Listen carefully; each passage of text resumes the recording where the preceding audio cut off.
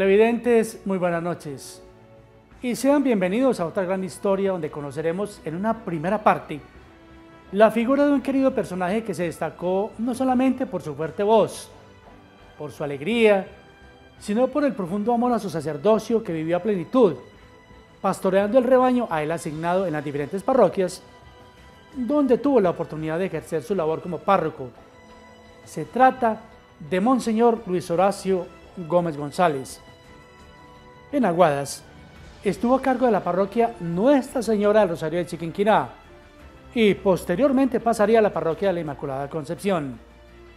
Un líder innato en su natal Salamina Caldas, muy dedicado a la política en sus inicios antes de ingresar tardíamente a la formación ministerial. En este primer capítulo profundizaremos sobre su vida, su familia, sus estudios y las obras realizadas en las parroquias de Aguadas. Conozcamos ahora algo de este querido personaje. El excelentísimo señor Luis Horacio Gómez González nació a las 9 de la noche el 18 de octubre de 1958 en el municipio de Salamina Caldas, en un hogar de acendrada tradición cristiana. Su padre, don Luis Gonzalo Gómez Gómez, fue un humilde campesino dedicado a las labores agrícolas, casado en primeras nupcias con doña Ana Elsie Gómez Echeverry, con quien tuvo seis hijos. Teresita Gómez de Ángel vive en Cartago Valle. Fabiola Gómez de Serna vive en Manizales. Bernardo Gómez Gómez vive en Bogotá. Rubén Gómez vive en Bogotá Gonzalo Gómez vive en Manizales. Viudo prematuramente, don Luis Gonzalo se casó en segundas nupcias con doña María Emma González Gómez, fallecida en el año 2004 a los 83 años, sepultada sus cenizas en Manizales en la cripta de la parroquia Cristo Rey. Con ella tuvo cuatro hijos.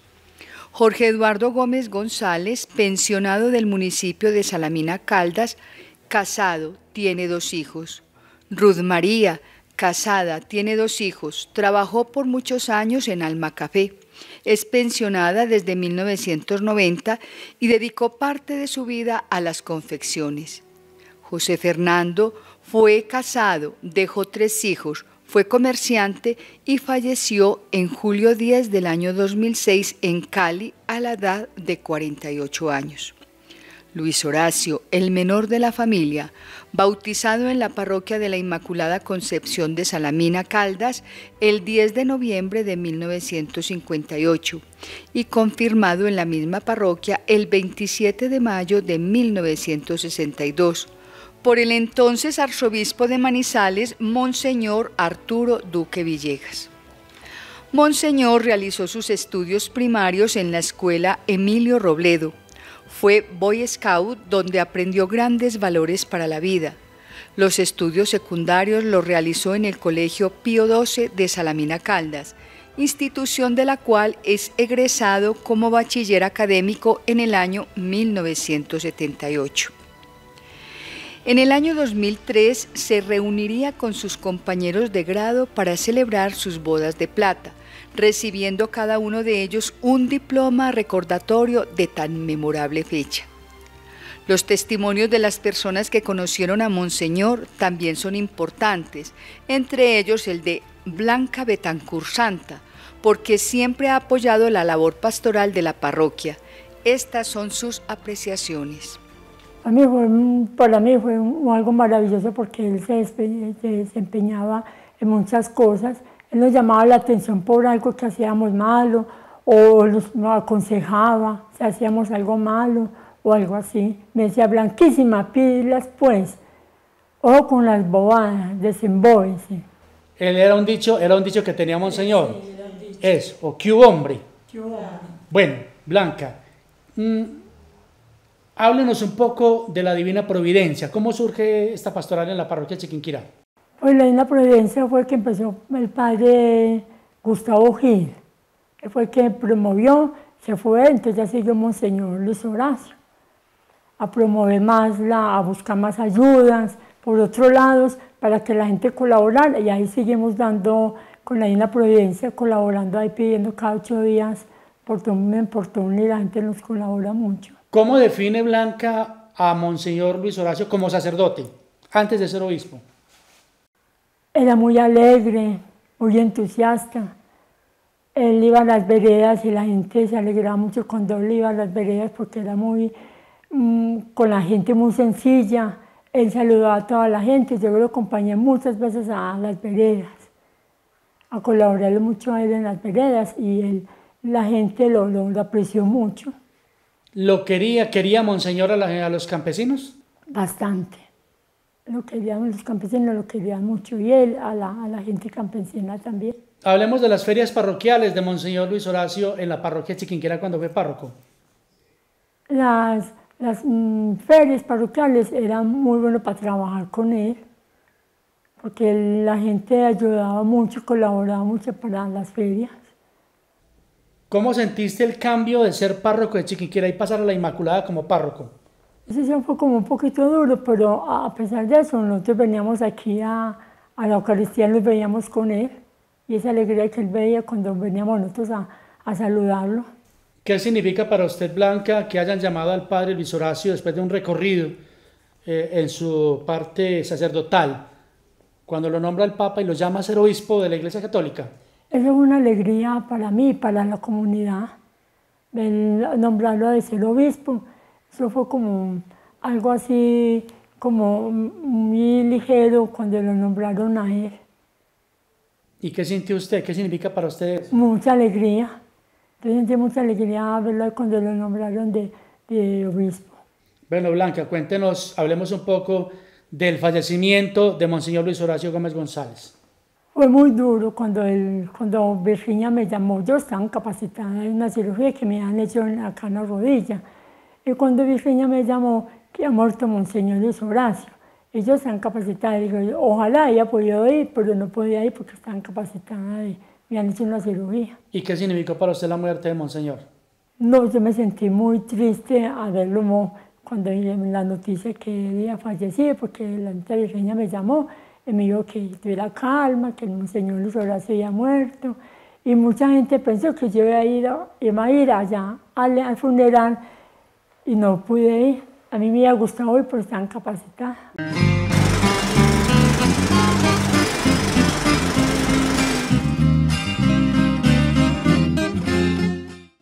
En el aguas del ayer, recordar es vivir. Monseñor Luis Horacio Gómez González, su obispado. Segunda parte. Durante su curato en Aguadas, en las parroquias de nuestro municipio, Monseñor Luis Horacio Gómez González realizó varias obras dignas de mencionarse. De 1998 al año 2003 fue párroco de Nuestra Señora de Rosario de Chiquinquira de Aguadas. Allí realizó varias obras como construcción de la capilla en la vereda Viboral, la capilla de la Sagrada Familia, construcción de la capilla Divino Niño en el barrio Víctor en Ambarco, construcción del Salón Capilla Barrio San Francisco. Cuenta su hermana Ruth que Luis Horacio Gómez desde muy niño sintió el llamado a la política.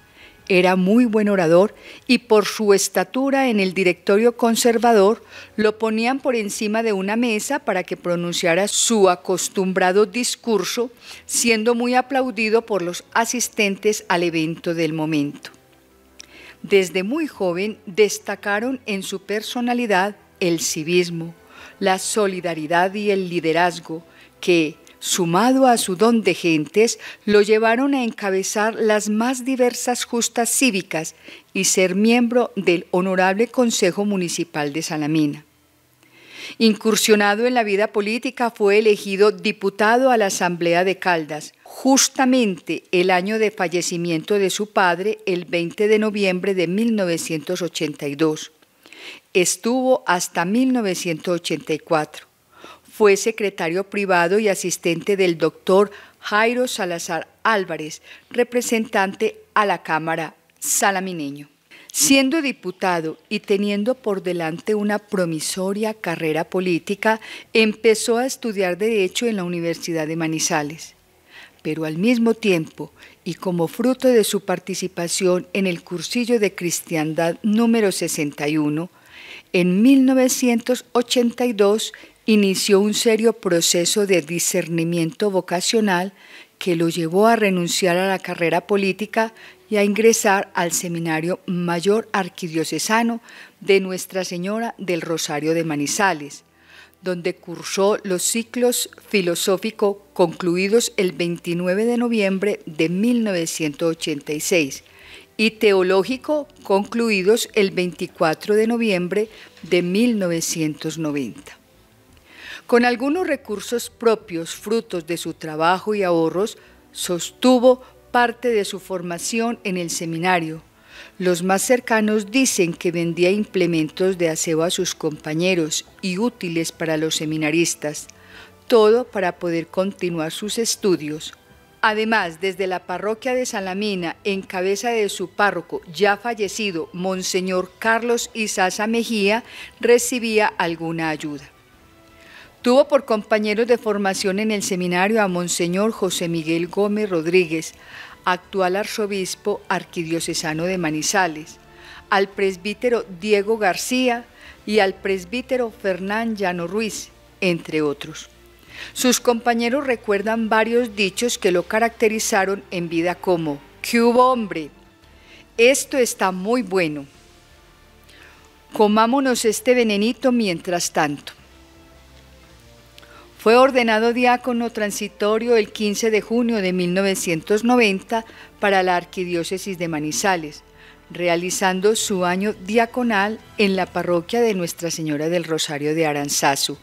Se desempeñaba como párroco el presbítero Raúl Ríos.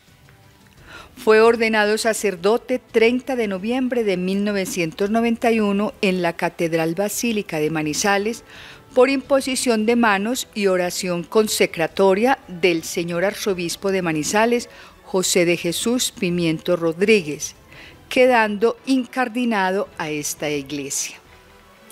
En la parroquia de la Inmaculada Concepción de Salamina Caldas celebró su primera Eucaristía, siendo acompañado por sus compañeros de ordenación, su familia y comunidad en general.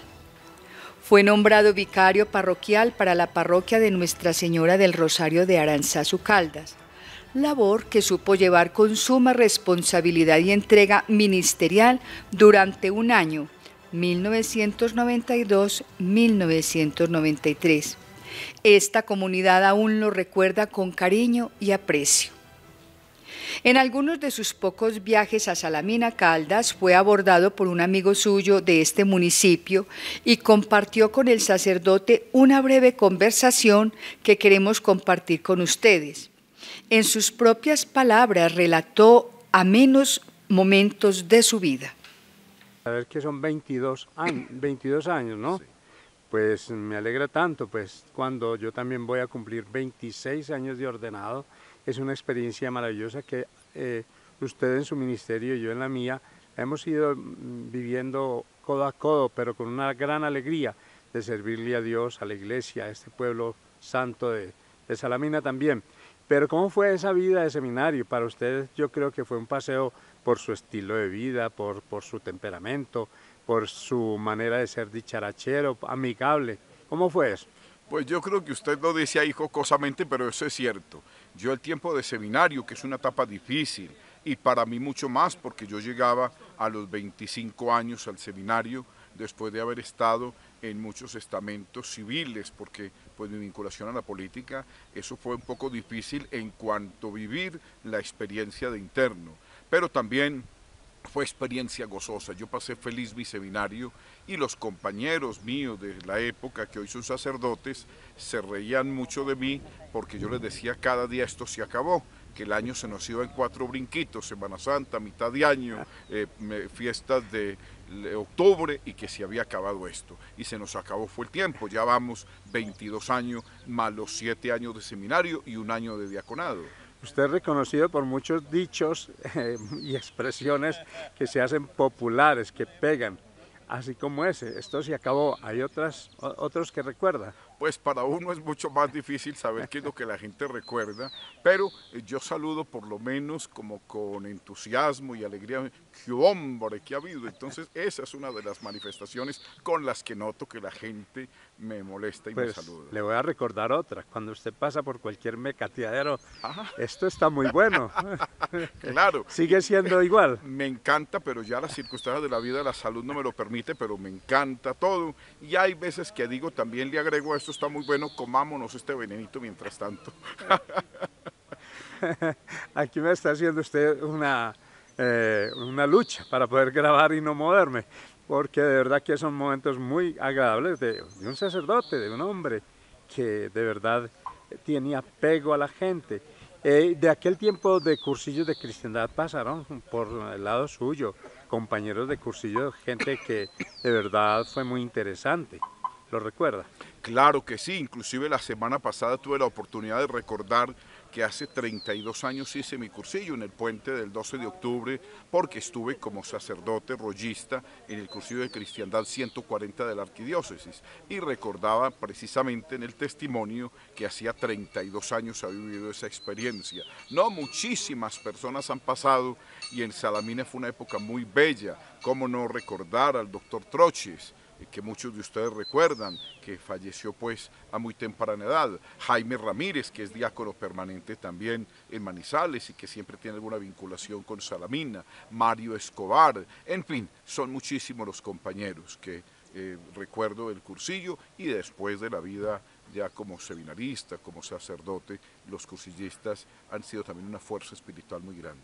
Usted cuando hace miga la hace del todo y de todo corazón sacerdotes con los que usted estudió en la vida de seminario y que ahora marcan su trayectoria también como sacerdote?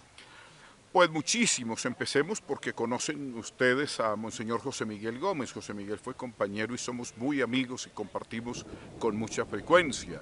Pero también eh, sacerdotes que han servido a Salamina, por ejemplo el Diego García, que también eh, pues fue compañero y con el que he compartido muchísimo. De los padres nuevos todos han sido compañeros, el padre Alberto Llanos, y en fin, todos estos sacerdotes son muy cercanos y con ellos tengo excelentes relaciones y compartimos una buena amistad sacerdotal. ¿Qué influencia tuvo el cardenal Ouellet? El cardenal Ouellet pues fue mi rector en el seminario, la admiración profunda porque es un hombre de Dios y todos los días lo recordamos con inmensa gratitud y especialmente pidiéndole al Señor en la responsabilidad que le ha confiado la iglesia que pueda ser cada vez más fiel a lo que el Señor le pide. Los testimonios de las personas que tuvieron de cerca a Monseñor Luis Horacio Gómez González son pieza clave para conocer mejor la figura de este querido sacerdote que a pesar de llevar eh, varios años de fallecido, aún continúa en el corazón de quienes se vieron beneficiados con sus obras al servicio de todos. Conozcamos las apreciaciones de María Virginia Giraldo Rodríguez.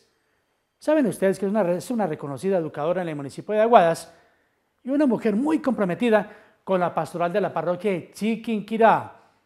Lo conoció muy de cerca y ella quiso aceptar la invitación a nuestro programa Aguadas del Ayer. Este es su testimonio. Yo lo que más recuerdo en él es la caridad, el amor, la misericordia por todos los que necesitaban. Él no tenía nada suyo, era para todo el que lo necesitara. Entonces esa es la esencia que yo recuerdo de él siempre. Él llegó a reemplazar precisamente a recibir el curato del presbítero Gustavo Gil y Sasa. Estuvo durante varios años en la parroquia. ¿Qué obra le recuerda usted a Monseñor Luis Horacio? Pues él hizo muchas cosas desde que llegó, empezó como a, revivir la, la parroquia, o sea, la iglesia era viva. Había muchos grupos parroquiales y fuera de eso hizo muchos arreglos en la casa cural, arregló el salón parroquial que existe hoy, porque primero pues eso era como una manga por allá llena de hierba, pero él hizo mucho por la, por la parroquia y por la comunidad. ¿Es verdad que Monseñor profesaba un gran amor por el campesinado? Sí, para él pues, él no tenía discriminación con ninguna persona, pero los quería mucho. Él fue el que empezó a llamar a estos líderes de las veredas, los llamaba alférez. Entonces, mire, él les dio mucha importancia. ¿Qué has realizado, Virginia, directamente tú en la parroquia de Chiquinquirá? Pues yo ahora en los grupos que, que pertenezco, ahora estoy en catequesis, estoy en el grupo pastoral de la salud, en Solidaridad San Antonio, proclamadores. Eh, también ayuda a recoger el mercado para los más pobres de la obra Divina Providencia. Hablemos un poco de eso, querida amiga Virginia. La catequesis, ¿cómo era Monseñor con la catequesis de los Ah, niños y los no, jóvenes? él era exigente. Y tanto que pues desde que el padre Gustavo, él empezó con la formación de la SPAC, que es Escuela Parroquial de Catequistas, nos dieron una capacitación muy buena de dos años y con ello pudimos nosotros dar unas mejores catequesis a los niños, a los jóvenes, a dar charlas de bautismo. Entonces, él se preocupó mucho por la catequesis, que todos quedaran bien formados. Capillas que de pronto haya construido, obras importantes de Monseñor en cuanto a esto las veredas. Pues la de en Veredas sería la de San Nicolás, eh, no, perdón, la de Viboral, en las Veredas la de Viboral. Eh, aquí en Aguas, pues el Renan Barco le prestó mucha atención a, esa, a ese sector de, de la parroquia. Eh, también estuvo allá en María Auxiliadora y sí, bueno, y la de Divina Providencia que queda ahí cerca al Polideportivo. Virginia, cuéntenos algo para este gran especial homenaje a Monseñor Luis Horacio Gómez González, que en paz descanse. ¿Qué son los Caballeros de María? Los caballeros de María eran unos señores ya pues de edad, ¿cierto? De 60 en adelante, que se sentaban en el parque a charlar y allá pues mm, se oían las risas, las charlas. Entonces él decía, no, yo con estos señores puedo formar un grupo en la parroquia que dé frutos. Entonces les propuso que rezaran el rosario todos los días a las 11 de la mañana y desde él funciona ese grupo y ya otra vez volvió y se, se volvió a comenzar el proceso con ellos. ¿Qué significó para usted como colaboradora de la parroquia y como catequista el llamado de Monseñor Luis Horacio al obispado? Ah, a mí me dio mucha alegría y especialmente yo sentí que era una bendición muy grande para, todas las, para toda la iglesia, pero especialmente para los lugares donde él iba a estar, porque yo sé que iba a hacer crecer mucho la fe, iba a hacer crecer la solidaridad, el amor por el necesitado, la alegría de servir y de pertenecer a la iglesia. El fallecimiento de Monseñor Luis Horacio. Eso es un momento muy triste porque de todas maneras era una persona muy especial. Dios nos la envió para que nosotros realmente lo reconociéramos a Él en la persona de Monseñor. A pesar de ser humano, con sus dificultades y sus cualidades, pero era un ser humano excepcional. Yo lo, de- lo digo así. Monseñor Luis Horacio Gómez González fue el gestor del programa Techo del Pobre. Además, la Divina Providencia, que reparte mercados a los más necesitados. Fue el gestor de los Caballeros de María, pues diariamente rezan el Santo Rosario en el templo parroquial. Remodelación del asilo y la capilla Asilo San Vicente, que tiene que agradecerle las virtudes de Monseñor Luis Horacio Gómez. Fue el constructor y el gestor de la capilla y la cripta de la parroquia Nuestra Señora del Rosario de Chiquinquirá. Remodelación del salón parroquial y la casa cural. Monseñor eh, Luis Horacio Gómez González, antes de ser nombrado obispo, este sacerdote querido, podemos definirlo como una persona muy amiguera, si lo podemos decir así de alguna manera, poseedor de una fuerte voz, entregado a su ministerio sacerdotal y excelente persona para gestionar recursos para sus obras. Pues las administraciones municipales de Aguadas le escuchaban. Por algo se ganaría junto con el presbítero Jairo Salazar Gómez el máximo reconocimiento que otorga el municipio a personalidades. La Gran Orden del Sombrero Aguadeño. Reconocimiento entregado por el alcalde de la época, Gilberto Antonio Duque Arias. Les cuento, televidentes, en el libro de oro de este destacado reconocimiento, encontramos que la resolución dice de la siguiente manera. Resolución 089 de mayo 21 del año 2000. Orden del sombrero aguadeño a los presbíteros Jairo Salazar Gómez y Luis Horacio Gómez González, párrocos de la Inmaculada Concepción y Nuestra Señora del Rosario de Chiquinquirá, respectivamente, como testimonio claro de reconocimiento a sus pastores, los cuales han dejado huella a través de su historia luminosa y fecunda. Da la naturaleza intrínseca de la orden, conferir a los presbíteros el honroso título de hijos adoptivos de Aguadas, categoría oro. Comuníquese y cúmplase el alcalde municipal y gran maestre de la orden, Gilberto Antonio Duque Arias, el canciller de la orden, Aníbal Valencia Ospina, y a propósito, buscamos las apreciaciones del diácono permanente Luis Evelio Arias, quien tuvo la oportunidad de elaborar con este insigne sacerdote, y sus opiniones también aquí las tener en cuenta. El padre Luis Horacio Gómez, para nosotros, no solo para mí, pues, sino para toda la comunidad, pues uno cómo lo tiene que ver como un hombre entregado a la causa del bienestar de la comunidad, no solamente en el campo espiritual, sino también en su campo material.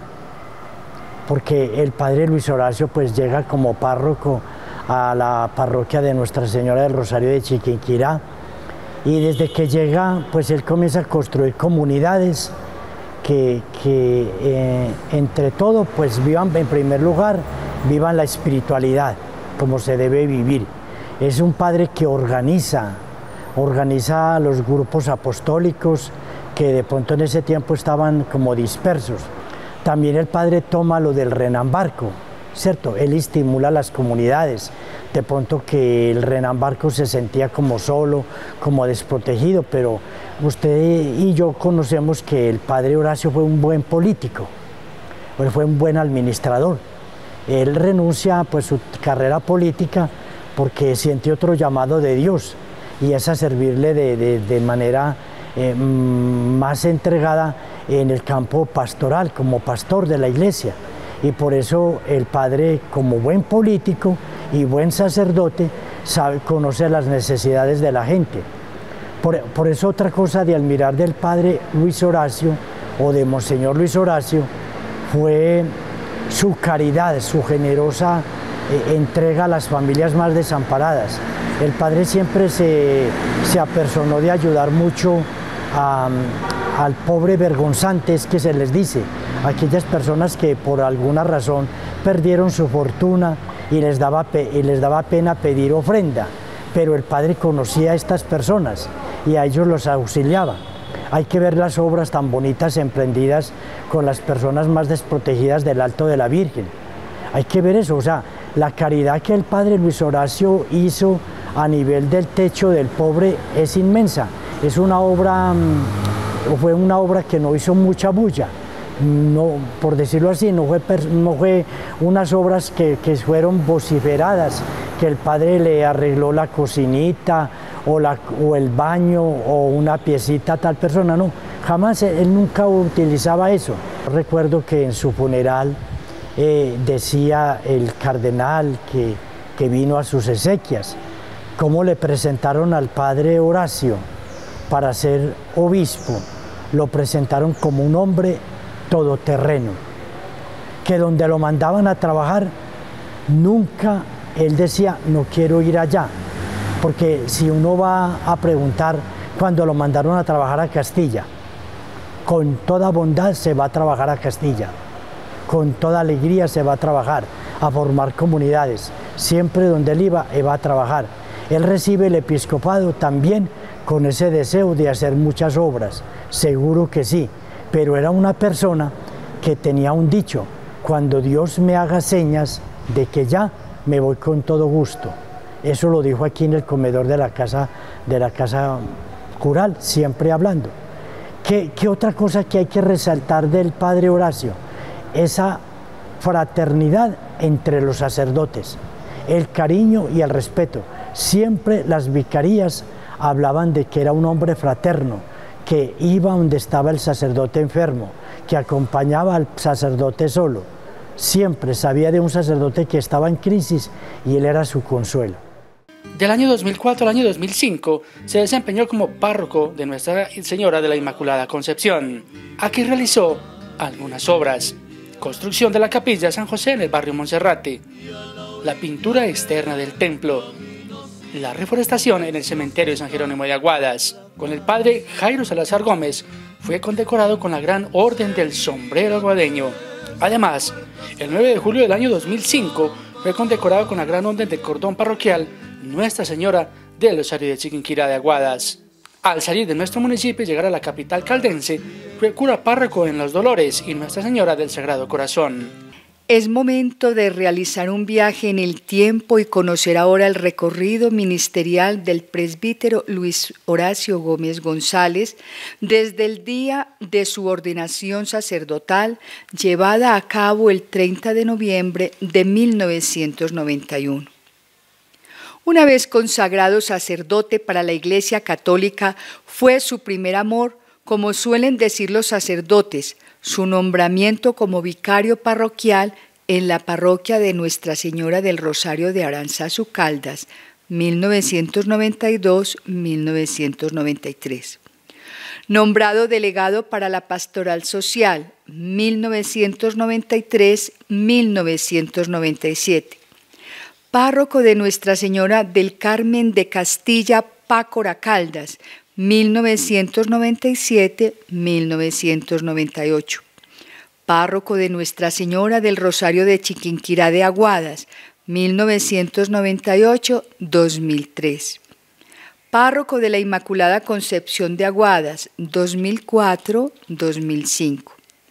Párroco de Nuestra Señora de los Dolores y párroco universitario en Manizales, 2005-2010 párroco de Nuestra Señora del Sagrado Corazón en Manizales, 2010-2013. Vicario episcopal para la Administración y las Finanzas Manizales, 2013-2014. Fue además miembro del Colegio de Consultores y del Consejo Presbiteral, delegado arzobispal para la Pastoral Universitaria, delegado arzobispal para la Pastoral Sacerdotal de Manizales, miembro del Consejo Directivo del SENA Regional Caldas por más de 10 años, capellán del SENA Regional Caldas, docente en el Seminario Mayor de Nuestra Señora del Rosario de Manizales, ecónomo cerca de siete meses de la Arquidiócesis de Manizales en el Palacio Arzobispal. Hernán Darío Jaramillo lo conoció bastante y tuvo una amistad muy cercana con Monseñor. Su testimonio es importante para corroborar nuestras anteriores afirmaciones.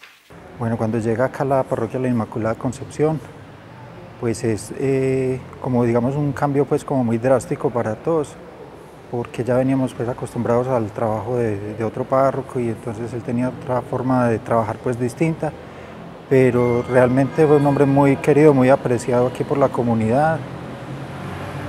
Hizo demasiadas obras también en el poco tiempo que estuvo aquí como párroco aquí en la Inmaculada. Eh, como te digo, una persona excelente, humanitaria, siempre pendiente de los más pobres, de los más necesitados. El fallecimiento de Monseñor Luis Horacio Mandarío. Eh, realmente fue un hecho pues que marcó mucho porque te digo pues había mucha cercanía con Monseñor Luis Horacio. Eh, no solamente fue un apoyo grande espiritualmente, sino también eh, materialmente también nos ayudó mucho en algunas ocasiones. Realmente una falta grande, pero pues, yo sé que está en el cielo y Dios lo está premiando allí por toda su obra, por toda su entrega, por toda su disponibilidad al servicio no solamente de esta comunidad, sino donde siempre estuvo sirviendo. Es muy necesario conocer algunas de las obras más relevantes realizadas por este querido sacerdote cuando se desempeñó como párroco de las parroquias de la Inmaculada Concepción de Aguadas y de Nuestra Señora Rosario de Chiquinquirá. Un sacerdote muy dado a buscar recursos para sus obras sociales y que beneficiaban a las comunidades más necesitadas, sus mejores amigos, los más pobres, a ellos les brindó un gran apoyo muy desmedido. Continuemos ahora con la sección Aguadas del Ayer, contada en mayo del año 2016, y profundizaremos en las gestiones realizadas por este benemérito sacerdote ya fallecido. Para conocer las obras realizadas en Aguadas durante el curato del presbítero Luis Horacio Gómez González, debemos desglosar este aspecto en dos momentos. El primero de ellos, cuando fue nombrado párroco de Nuestra Señora del Rosario de Chiquinquirá de Aguadas, 1998-2003. Entre las obras realizadas en esta parroquia podemos destacar. Buscando siempre beneficiar al campesinado, construiría la capilla de la Sagrada Familia de la vereda Viboral de Aguadas, contando con el valioso apoyo de la comunidad del sector, encontrando una gran ayuda en la señorita Grecia Franco Ospina, también ya fallecida. Construcción de la capilla Divino Niño en el barrio Víctor Renán Barco López. Construcción del Salón Capilla en el barrio San Francisco, remodelación del asilo San Vicente de Paul y de su capilla, remodelación del Salón Parroquial de Chiquinquirá y de la Casa Cural, construcción de la cripta de la parroquia de Chiquinquirá. Fue un sacerdote entregado a la causa de los más pobres, porque crearía la pastoral Divina Providencia, que reparte mercados a familias de escasos recursos económicos en la parroquia. De mucho recuerdo fue el ser mediador para la liberación de una pequeña niña que fue entregada al sacerdote en Sonsón, Antioquia. En un segundo momento debemos conocer sus obras cuando se desempeñó como párroco de la Inmaculada Concepción de Aguadas 2004-2005 construcción de la capilla San José en el sector de Monserrate. Gestionó la pintura externa del templo. En el año 2004 gestionó ante Corpo Caldas la poda de unos árboles en el cementerio San Jerónimo de Aguadas que presentaban deterioro y peligro para la comunidad. Uno hablar de, de Monseñor Luis Horacio es hablar de una persona católica, una persona que fue muy entregada, digamos, no solo a la parroquia Nuestra Señora de Chinquinquirá, sino también a, la Inmaculada Concepción, que también hizo parte, digamos, de, ser párroco en las dos parroquias de, nuestro querido Aguadas, la Chinquinquirá y la Inmaculada. Uno decir que cuando él fue, pues, digamos, nombrado como párroco en la Chinquinquirá, pues uno como, en este caso, pues como gremio de transportadores hay muy allegado a la gente, una persona que en realidad, pues, era, era decir que era una persona muy católica. Eso pues no es de dudarlo. Monseñor, para nosotros, digamos, en este gremio que manteníamos ahí en ese entonces, ahí en La Habana, era una persona que lo aconsejaba a uno. De verdad que muchos recuerdos se tienen de Monseñor Luis Horacio, muchos recuerdos. Nelson, un tema importante que no puede faltar en este programa en homenaje a Monseñor Luis Horacio, que en paz descanse, es el tema relacionado con la capilla de la Sagrada Familia de la Vereda Vibural. ¿Qué recuerdas?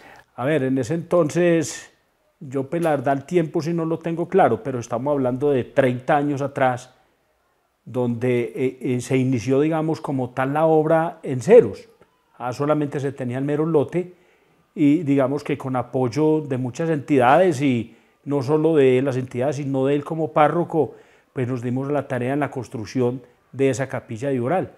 Recuerdo yo una anécdota donde con él que era él pidiendo llantas en todas esas bombas para poder hacer un muro de contención que se había que hacer ahí. Ese muro a hoy, a hoy existe intacto, porque es un muro hecho con llantas y verdad que eso le daba mucho como para el terreno, para sostener el terreno en, esta, eh, allá antes se hizo la capilla y para nosotros fue, digamos, ese apoyo que se tuvo, no solo de, de nosotros como en ese entonces yo era pues el transportador de allá, y éramos recogiendo llantas por todo el pueblo y echando en la chiva para llevar para Viboral. Y no solo eso, sino el apoyo de todas las personas que tuvieron que ver con la hecha de esta construcción. La construcción de una capilla que hoy es una de las capillas que tiene nuestro municipio de Aguadas en la vereda de Viboral, una capilla muy organizada y con muchas manos de obra que ha tenido su edad. Eso, en ese entonces se vinculó muchos, digamos, muchos maestros de obra, muchos oficiales, eh, ayudantes. Recuerdo también que una persona que tuvo que ver mucho con los planos de, esa construcción fue el doctor Villa, que él era pues, el, Héctor Villa, él era arquitecto de, esa obra allá y de verdad que eso hace vínculo muchas, muchas personalidades. Uno veía que, que pues, el padre, en este caso ya Monseñor, ya fallecido, él hablaba y todo el mundo le, le corríamos porque era una persona que, que en realidad pues inspiraba respeto hacia la comunidad, entonces él nos lo convocaba y vamos a laborar y todo mundo, esos convites recuerdo yo que se hacían más que todos los lunes, los lunes todo el mundo se programaba en esa vereda para ir a, dar su granito de arena, su mano de obra para poder avanzar con la obra que se tiene hoy en día en la capilla de ¿Qué significa para usted o significó el fallecimiento de Monseñor Luis Horacio Gómez González? Uno decir, Jorge y comunidad, que ir uno a, porque tuve la oportunidad también de estar, digamos, en las exequias de, de nuestro Señor Monseñor. Para nosotros fue muy triste porque de verdad que era una persona valiosísima. Nosotros que tuvimos la oportunidad de conocerlo acá en Aguadas, sabíamos que era una persona valiosísima para, digamos, para la, para la religión católica. Uno veía pues en él, en ese ser humano que, que había dentro de él, la, la, facilidad que él tenía para entrarle a la gente, para tratar de, de, de, ayudar a la gente. De verdad, mucho, mucho que hablar de Monseñor y de verdad que fue una pérdida muy grande, digamos, al nivel departamental. Eh, decir uno que, pues, que Monseñor, una persona tan joven, porque Monseñor pues murió eh, siendo muy joven, y para nosotros recordar, digamos, esas, esas anécdotas con él, fue muy duro y tuve la oportunidad también de, de estar visitándolo, pues ya en, la, en, digámoslo de esta manera, hombre, ya en las exequias, para nosotros como aguadeños. Y las personas que tuvieron la oportunidad de compartir con él, sabíamos que era una persona, un ser humano bastante intachable. Yo pues ese recuerdo tengo de, de Monseñor Luis Horacio. En esta primera parte hemos conocido a profundidad la vida de Monseñor Luis Horacio Gómez González, algunas de sus obras, y quizás usted, amigo televidente, al igual que este servidor, le causa algo de nostalgia recordar a este querido sacerdote, que ya nos ha dejado, pero cuyas obras han quedado como un vestigio de su entrega a la comunidad que pastoreaba. Agradecimientos a su hermana Ruth María por el valioso aporte fotográfico para la sección y a su sobrina Claudia Gómez en la ciudad de Manizales. En la segunda parte conoceremos su nombramiento como obispo, su enfermedad y su posterior fallecimiento. Agradecimientos a nuestro patrocinador, el señor Abdul Yalil Sanabria González, por creer en este valioso proyecto. Los espero entonces con la segunda parte sobre la vida de Monseñor Luis Horacio Gómez González en el próximo capítulo el próximo jueves a la misma hora, 7 y 30 de la noche. Que descansen y permiso.